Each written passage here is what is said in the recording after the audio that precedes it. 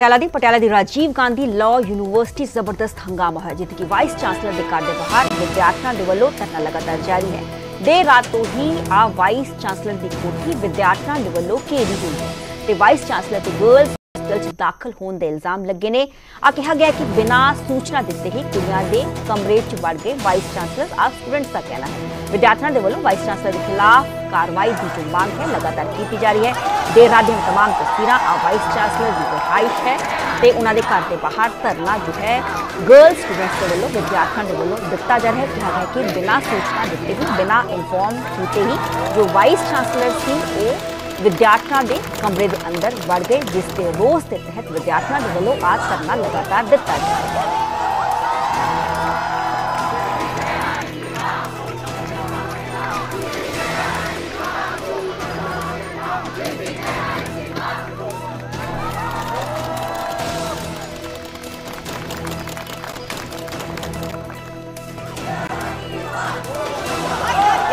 ਪਟਿਆਲਾ ਦੀ ਰਾਜੀਵ ਗਾਂਧੀ ਲਾ ਯੂਨੀਵਰਸਿਟੀ ਦੇ ਵਿੱਚ ਕੱਲ ਤੋਂ ਵਿਦਿਆਰਥੀਆਂ ਦਾ ਪ੍ਰਦਰਸ਼ਨ ਜਾਰੀ ਹੈ। ਵਾਈਸ ਚਾਂਸਲਰ ਦੇ ਵਤੀਰੇ ਨੂੰ ਲੈ ਕੇ ਜਿਹਾ ਕਿ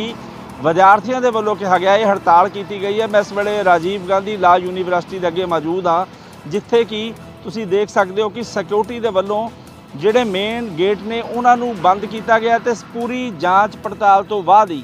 ਜੇਕਰ ਕੋਈ ਅਧਿਆਪਕ ਹੈ, ਕੋਈ ਸਟੂਡੈਂਟ ਹੈ ਜਾਂ ਪਰਿਵਾਰਕ ਮੈਂਬਰ ਹੈ, ਉਸ ਨੂੰ ਜਾਣ ਦੀ ਇਜਾਜ਼ਤ ਦਿੱਤੀ ਜਾ ਰਹੀ ਹੈ। ਪਰ ਮੀਡੀਆ ਜਾਂ ਆਮ ਲੋਕਾਂ ਦੀ ਐਂਟਰੀ ਬੰਦ ਹੈ ਤੇ ਜਿਹੜਾ ਪ੍ਰੋਟੈਸਟ ਹੈ, ਉਹ ਇਸ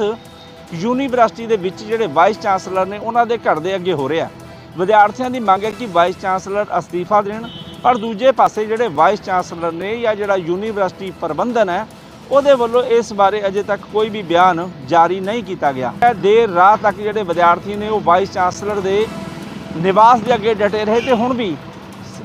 ਜਿਹੜੀ ਸਿਕਿਉਰਿਟੀ ਹੈ। ਸਿਕਿਉਰਿਟੀ ਦੇ ਵੱਲੋਂ ਪੂਰੀ ਜਾਂਚ ਪੜਤਾਲ ਕੀਤੀ ਜਾ ਰਹੀ ਹੈ ਹਰ ਗੱਡੀ ਦੀ ਕਿ ਕੋਈ ਵੀ ਜਿਹੜਾ ਵਿਅਕਤੀ ਹੈ ਉਹ ਨਾ ਜਾ ਸਕੇ, ਜਿਸ ਦੀ ਕੋਈ ਪਛਾਣ ਨਹੀਂ ਹੈਗੀ ਜਾਂ ਮੀਡੀਆ ਹੈਗਾ।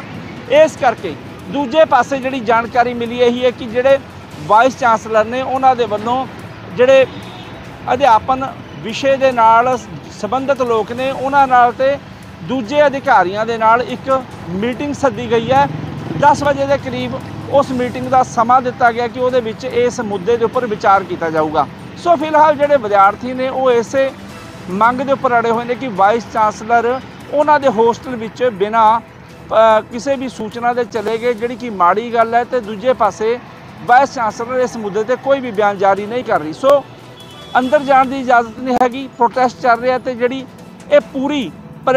ਘਟਨਾ ਹੈਗੀ ਹੈ ਉਹਦਾ ਜਿਹੜਾ ਰੇੜਕਾ ਹੈਗਾ ਲਗਾਤਾਰ ਜਾਰੀ ਹੈ ਤੇ ਜਿਸ ਨੂੰ ਲੈ ਕੇ ਅੱਜ 10 ਵਜੇ ਤੋਂ ਬਾਅਦ ਕੋਈ ਹੱਲ ਨਿਕਲ ਸਕਦਾ, ਪਰ ਜਿਹੜੇ ਵਿਦਿਆਰਥੀਆਂ ਨਾਲ ਸਾਡੀ ਗੱਲ ਹੋਈ ਹੈ ਉਹਨਾਂ ਨੇ ਇਹੀ ਗੱਲ ਕਹੀ ਹੈ ਕਿ ਸਾਡਾ ਜਿਹੜਾ ਪ੍ਰੋਟੈਸਟ ਹੈ ਉਹਨਾਂ ਸਮਾਂ ਜਾਰੀ ਰਹੂਗਾ ਜਦੋਂ ਤੱਕ ਸਾਡੀ ਮੰਗ ਨੂੰ ਨਹੀਂ ਮੰਨਿਆ ਜਾਂਦਾ।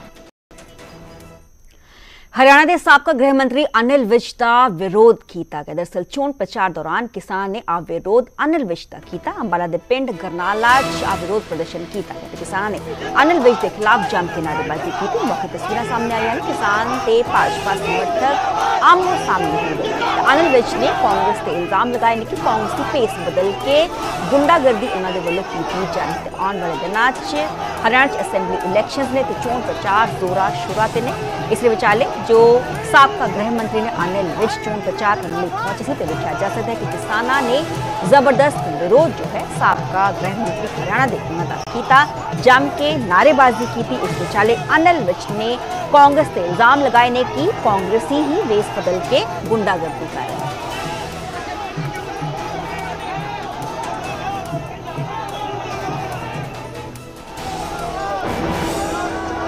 नहीं नहीं किसानों का नहीं है ये तो अंबाला छावनी में कांग्रेस ने अपनी हार मान ली। और जो इनका करेक्टर है, उसी के मुताबिक भेष बदल कर ये गुंडागर्दी करने आ पहले भी बहुत गुंडागर्दियाँ हुई हैं। लोगों की दुकानों, मकानों पर कब्जे हुए हैं। कत्ल भी हुए हैं। सारों को पता है। अब हार को देख के सामने। और ये इस प्रकार से गुंडागर्दी कर रहे हैं। ये किसी हालत में बर्दाश्त नहीं की जाएगी। प्रजातंत्र है। प्रजातंत्र में हर जो व्यक्ति है उसको अपनी बात शांतिपूर्वक कहने का अधिकार तो मानते हैं किसान नहीं थे? नहीं मैं जानता हूँ वो सरपंच था उसी गाँव में कांग्रेस का। जिसको हमने हराया हुआ है वही झंडे लेके खड़ा था। उसके साथ ही खड़े थे।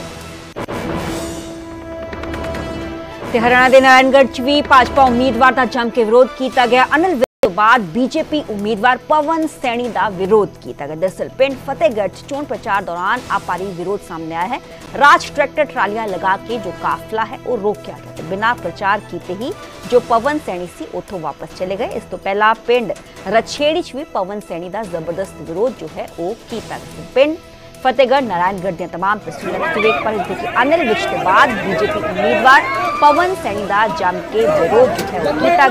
ਵਿਰੋਧ ਜੋ ਹੈ ਉਹ ਕੀਤਾ ਗਿਆ ਰਸਤੇ 'ਚ ਹੀ ਟਰੈਕਟਰ ਟਰਾਲੀਆਂ ਲਗਾ ਦਿੱਤੀਆਂ ਗਈਆਂ ਹਾਲਾਂਕਿ ਕਾਫਲਾ ਰੋਕਿਆ ਗਿਆ ਜਿਸ ਦੇ ਵਿਚਾਲੇ ਜੋ ਪਵਨ ਸੈਣੀ ਸੀ ਬੀਜੇਪੀ ਉਮੀਦਵਾਰ ਉਹਨਾਂ ਨੂੰ ਬਿਨਾਂ ਪ੍ਰਚਾਰ ਕੀਤੇ ਹੀ ਉੱਥੋਂ ਵਾਪਸ ਪਰਤਣਾ ਪਿਆ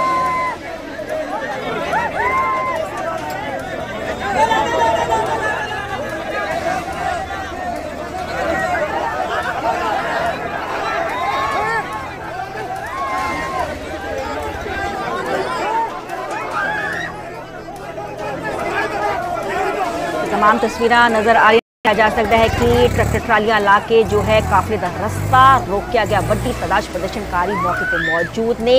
ਇਸ ਦੇ ਵਿਚਾਲੇ ਜੋ ਬੀਜੇਪੀ ਕੈਂਡੀਡੇਟ ਸੀ ਪਵਨ ਸੈਣੀ ਉਹਨਾਂ ਨੂੰ ਬਿਨਾਂ ਪ੍ਰਚਾਰ ਕੀਤੇ ਹੀ ਉੱਥੋਂ ਵਾਪਸ ਪਰਤਣਾ ਪਿਆ ਹਾਲਾਂਕਿ ਮੌਕੇ ਤੇ ਸਥਾਨਕ ਪੁਲਿਸ ਵੀ ਮੌਜੂਦ ਸੀ ਪਰ ਜੋ ਪ੍ਰਦਰਸ਼ਨਕਾਰੀ ਸੀ ਉਹ ਅੜੇ ਹੋਏ ਸੀ ਹਾਲਾਂਕਿ ਜੋ ਕਾਫਲਾ ਹੈ ਉਸ ਨੂੰ ਅੱਗੇ ਨਹੀਂ ਜਾਣ ਦਿੱਤਾ ਗਿਆ ਬੀਜੇਪੀ ਕੈਂਡੀਡੇਟ ਨੇ ਪਵਨ ਸੈਣੀ ਜੋ ਕਿ ਉੱਥੇ ਚੋਣ ਪ੍ਰਚਾਰ ਕਰਨ ਲਈ ਜਾਣਾ ਚਾਹੁੰਦੇ ਸੀ ਪਰ ਬਿਨਾਂ ਚੋਣ ਪ੍ਰਚਾਰ ਕਰਦੇ ਹੀ ਉਹਨਾਂ ਨੂੰ ਉੱਥੋਂ ਵਾਪਸ ਜੋ ਹੈ ਉਹ ਪਟਨਾ ਗਿਆ ਤੇ ਮੌਕੇ ਤੇ ਇੱਕ ਟਰੈਕਟਰ ਨਜ਼ਰ ਆ ਰਿਹਾ ਤੇ तमाम ਜੋ ਹੈ ਕਾਫਲਾ ਟਰੈਕਟਰ ਟਰਾਲੀਆਂ ਦੇ ਨਾਲ ਜੋ ਰਸਤਾ ਹੈ ਉਹ ਰੋਕ ਦਿੱਤਾ ਗਿਆ ਤੇ ਨਾਰਾ ਤੇ ਪਿੰਡ ਫਤਿਹਗੜ੍ਹ ਨਾਰਾਇਣਗੜ੍ਹ ਦੀਆਂ तमाम ਤਸਵੀਰਾਂ ਨੇ ਆ ਜੋ ਹੈ ਸੀਐਮ ਨਾਇਬ ਸਿੰਘ ਸੈਣੀ ਦਾ ਇਲਾਕਾ ਹੈ ਪਹਿਲੇ ਐਸਟੀ ਏਰੀਏ ਤੋਂ ਐਸਟੀ ਜੋ ਨੇ ਵਿਧਾਨ ਸਭਾ ਹਲਕੇ ਤੋਂ ਨਾਇਬ ਸਿੰਘ ਸੈਣੀ ਵਿਧਾਇਕ ਵੀ ਰਹਿ ਚੁੱਕੇ महबूबा अख्तर हसीना पेन जरनाला मालादिया ने की अनिल विज साबका गृह मंत्री हरियाणा के पहुँचे चुनाव पर तमाम किसाना निगमों को खेत उन्होंने खिलाफ कार्रवाई की गई थे बिना चुनप्रचार के ही उनको वापस पलटना पे हालाँकि आनंद मिश्रा कहना है कि आप जो है, कांग्रेसी दिवेश ने तमाम प्रदर्शनकारी, आप कांग्रेस के वालों ही गुंडागर्दी की थी। जानकारी पिंड फतेहगढ़ी जिसे कि पवन सैनी का जान के विरोध किया गया। पवन सैनी के चोन प्रचार करने की वजह से बीजेपी उम्मीदवार ने, बीजेपी कैंडिडेट ने तमाम प्रदर्शनकारियों के वालों ट्रैक्टर ट्रालियाँ लगा के उठोना ਕਰਨ ਲਈ ਪਹੁੰਚੇ ਸੀ ਬੀਜੇਪੀ ਉਮੀਦਵਾਰ ਨੇ ਬੀਜੇਪੀ ਕੈਂਡੀਡੇਟ ਨੇ ਤੇ ਤਮਾਮ ਪ੍ਰਦਰਸ਼ਨਕਾਰੀਆਂ ਦੇ ਵੱਲੋਂ ਟਰੈਕਟਰ ਟਰਾਲੀਆਂ ਲਗਾ ਕੇ ਉੱਥੇ ਉਹਨਾਂ ਦਾ ਕਾਫਲਾ ਜੋ ਹੈ ਉਹ ਰੋਕ ਦਿੱਤਾ ਗਿਆ ਸੀਐਮ ਨਾਇਬ ਸਿੰਘ ਸੈਣੀ ਦਾ ਆ ਗੜ ਕਿਹਾ ਜਾਂਦਾ ਹੈ ਕਿਉਂਕਿ ਸੀਐਮ ਨਾਇਬ ਸਿੰਘ ਸੈਣੀ ਇੱਥੋਂ ਵਿਧਾਇਕ ਰਹਿ ਚੁੱਕੇ ਦੋ ਵੱਖ-ਵੱਖ ਤਸਵੀਰਾਂ ਜਿੱਥੇ ਕਿ ਬੀਜੇਪੀ ਕੈਂਡੀਡੇਟਸ ਦਾ ਵਿਰੋਧ ਜੋ ਹੈ ਉਹ ਕੀਤਾ ਗਿਆ ਪਹਿਲੀ ਤਸਵੀਰ ਹੈ ਜੋ ਕਿ ਅਨਿਲ ਵਿਜ ਜੋ ਨੇ ਸਾਬਕਾ ਗ੍ਰਹਿ ਮੰਤਰੀ ਚੋਣ ਪ੍ਰਚਾਰ ਕਰਨ ਲਈ ਉੱਥੇ ਪਹੁੰਚੇ ਸੀ ਤੇ ਕਿਸਾਨਾਂ ਦੇ ਵੱਲੋਂ ਉਹਨਾਂ ਦਾ ਕਾਫਲਾ ਰੋਕ ਦਿੱਤਾ ਗਿਆ ਜ਼ੋਰਦਾਰ ਜੰਮ ਕੇ ਨਾਅਰੇਬਾਜ਼ੀ ਕੀਤੀ ਗਈ ਦੂਸਰੀ ਤਸਵੀਰ ਹੈ ਬੀਜੇਪੀ ਕੈਂਡੀਡੇਟ ਜਦੋਂ ਪਵਨ ਸੈਣੀ ਚੋਣ ਪ੍ਰਚਾਰ ਕਰਨ ਲਈ ਉੱਥੇ ਪਹੁੰਚੇ ਸੀ तमाम ਪ੍ਰਦਰਸ਼ਨਕਾਰੀਆਂ ਦੇ ਵੱਲੋਂ ਉਹਨਾਂ ਦਾ ਜੋ ਕਾਫਲਾ ਹੈ ਟਰੈਕਟਰ ਟਰਾਲੀਆਂ ਲਗਾ ਕੇ ਰੋਕ ਦਿੱਤਾ ਗਿਆ ਰੋਡ ਨੂੰ ਬਲੌਕ ਕੀਤਾ ਗਿਆ ਤਾਂ ਜੋ ਕਾਫਲਾ ਸੀ ਅੱਗੇ ਨਾ ਵਧੇ ਜਿਸ ਦੇ ਚੱਲਦੇ ਪਵਨ ਸੈਣੀ ਨੂੰ ਵੀ ਉੱਥੋਂ ਵਾਪਸ ਪਰਤਣਾ ਪਿਆ